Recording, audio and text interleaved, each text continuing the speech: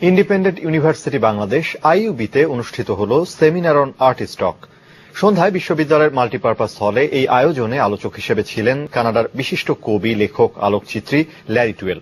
আলোচনার পাশাপাশি তার তোলা বেশ কিছু আলোকচিত্র প্রদর্শন করা হয়। সেমিনারে আইইউবির উপাচার্য এম ওমর রহমান সহ বিভিন্ন বিভাগের শিক্ষক শিক্ষার্থীরা উপস্থিত ছিলেন।